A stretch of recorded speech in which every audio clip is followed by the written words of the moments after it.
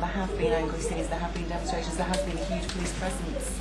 Well, there wasn't a huge police presence yesterday. That was part of the problem. You know, the police let the mob run wild, and I think it is very sad that um, a, a hostile mob out there, which is organised and paid for, partly with taxpayers' money, by Labour Party councils, and is backed by MPs from all the main parties, including David Cameron, is allowed to get away with this level of mob violence on the streets of Britain in 2009. Is this how you expected to have to conduct your campaign once you became elected?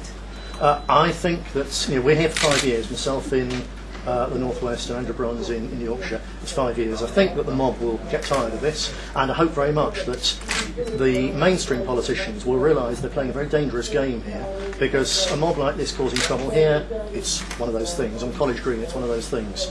But I've got to go and visit constituents in places like Preston and Burnley and Blackburn, and Andrew has to go into places like Bradford.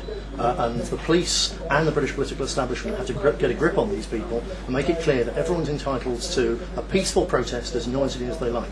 Once they start throwing eggs and bricks as they were yesterday, something's got to be done, it's got to be stopped. So far it has all been about protests. Are we here to talk about policies today? We certainly are. What are you going to tell us? Uh, that has wait for the press conference.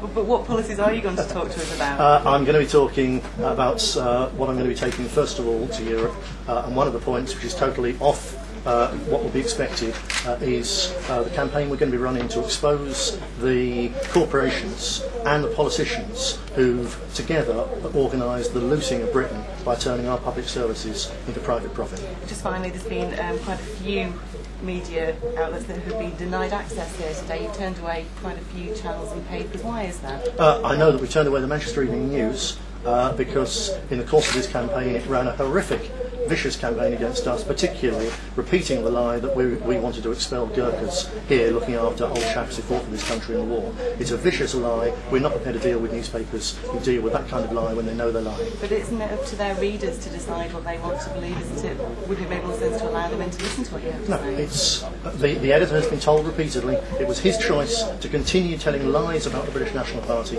and our position on the Gurkhas. That was his choice to carry on lying. It's our choice to therefore exclude him from this press conference. Thank you.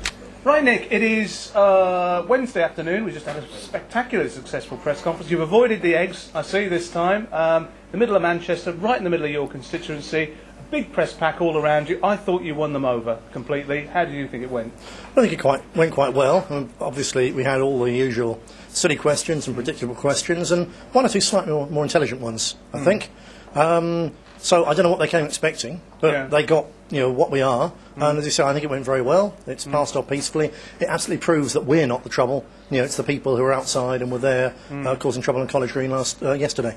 It's the only press conference I've seen where they ran out of questions, didn't they? We gave them about an hour and a half, and they just ran out of questions in the end, didn't they? Well, I can outtalk anyone, Simon. Yeah, that's It's true. right. True enough. True enough. Well, first of many, I think. Yeah. First of many. We've turned a few heads here, and two days, maybe three days into your election, and you're certainly making your mark.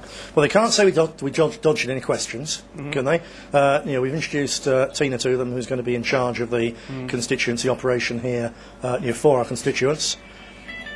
And uh, it's another press call, I'm sure. Yeah, yeah. Um, there's no end to it. I've been, I've been with you, as you know, you know all this morning. Yeah. Uh, absolutely manic on your phones, Yeah. uh, all from the press. I'm sure it will continue. I do hope, as I said to, in response to one of the questions, I hope it will you know, slow down because there's work to be done out there for the constituents, uh, and I hope very much that the the police get a grip on the protesters and make sure that all they do is protest. Yeah. That they in turn get bored of the idea of doing this for the next five years. Mm-hmm. And probably the, the key to this is whether the media will start to report things sensibly, or whether they'll carry on sensationalising things. Yeah. And if they sensationalise a visit by me to Preston or a visit from Andrew Brons to Bradford, then there could be really serious trouble. Mm-hmm. So they need to calm down and start getting responsible.